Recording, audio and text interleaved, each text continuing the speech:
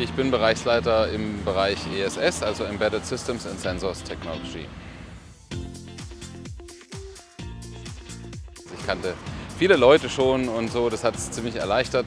Ich war eigentlich sehr angenehm überrascht, wie freundlich hier am FZI man auch so aufgenommen worden ist als völlig Fremder, weil viele andere Bereichsleiter sind ja Eigengewächse, die also am FZI schon verschiedene Positionen durchlaufen haben und ich kam ja direkt von außen rein und äh, man musste natürlich sehr viele Strukturen kennenlernen, sehr viele Abläufe des FZI ist also äh, in etwa ähnlich bürokratisch wie das KIT, möchte ich sagen. Und das sind alles so Dinge, wo man natürlich erstmal wissen muss, wie es läuft.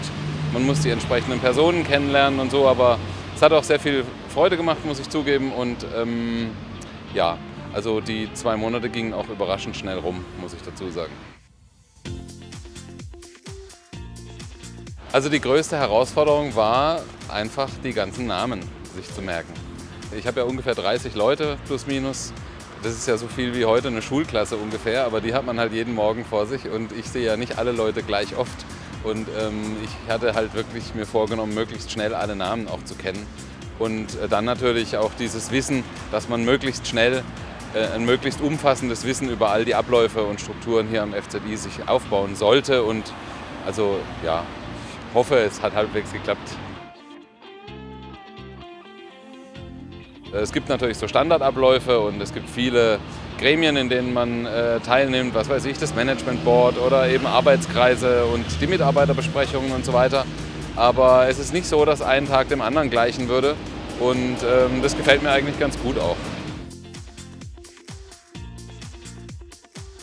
Das ist eigentlich äh, schnell gesagt. Das FZI ist ein, ähm, ja, wie soll ich sagen, ist eine Einrichtung, in der, glaube ich, eine sehr gute Stimmung herrscht äh, bei vielen Leuten. Also es ist ein sehr angenehmes Arbeitsklima auf der einen Seite und es ist halt auch nicht so ein Riesentanker wie jetzt zum Beispiel eine große Universität. Und ich glaube, dass äh, das FZI halt einfach sehr gute Randbedingungen stellt, um hier forschen zu können. Es ist einigermaßen übersichtlich noch, man kennt sich nach einer Weile und man hat eine sehr gute Betreuung, glaube ich, auch durch die Professoren, die ja diese Direktorenfunktion wahrnehmen.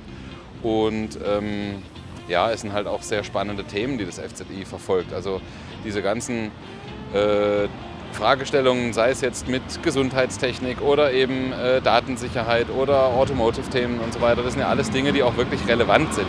Und man hat da also sicher auch als junger Wissenschaftler den Eindruck, äh, an, an, an bedeutenden oder, oder, oder wichtigen Fragestellungen mitzuarbeiten einerseits und natürlich andererseits auch ähm, in, einem, in einem guten Umfeld äh, seine, seine Themen verfolgen zu können. Und ich glaube, das ist ein ganz guter Mix.